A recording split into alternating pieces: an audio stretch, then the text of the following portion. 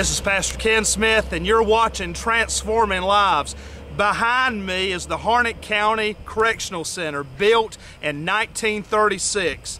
And at that time they built this, it was for inmates that were going to be doing road construction through eastern North Carolina.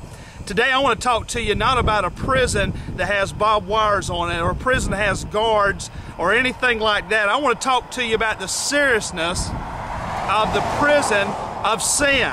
You see, because people are driving by this prison and it's almost become a thing that they have completely ignored. They have seen the prison, they've seen the guards, they've seen the fence, they've seen the no trespassing signs and all of those things, and it's become a common thing to them when they drive by.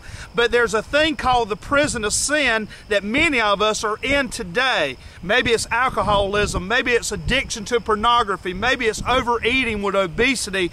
I don't know what the sin is that you're struggling with, but I want to let you know that if you are in that sin, it is almost like it has imprisoned you. You might not be able to see the barbed wire, but spiritually you can't get out on your own. That's why in John chapter 8, the Bible says that whom Jesus sets free is free indeed. And thanks be to God for that. We don't have to go through a 20 day process or 40 day cycle to get set free. The moment you go to the Savior, the moment you go to Jesus, it's as if the warden says, Guess what? Your time's up. You no longer have to stay in this prison anymore. The doors are open. You can come out for freedom. So, friends, guess what? A third of the population behind me I found out is serving a life sentence. If you're in sin right now, you're serving a life sentence to sin, hell, death, and the grave.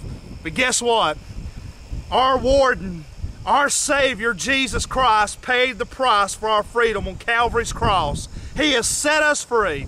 Cast all your care. Cast the sins that you're committing. Cast the, the division of your heart to Him and be set free from your prison. Be set free from the shackles that are holding you down. And God can do it not because there's a review board, not because there's people that will have to approve it, but because Jesus Christ says you're free. And so do that today, my friends. Call on Jesus and get out of that prison of sin, and He can set you free right now, this very day.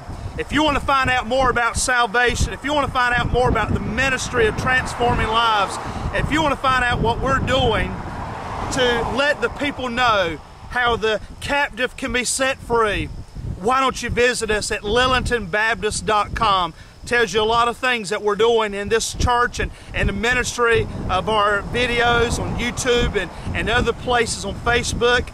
We love to get connected with you.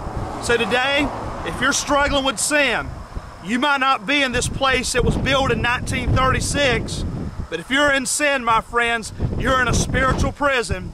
And I got good news. The good news is Jesus is opening up that door and setting you free. This is Pastor Ken Smith. You've been watching Transforming Lives, and I hope God blesses you as you walk out of those prison cells. We'll see you next week.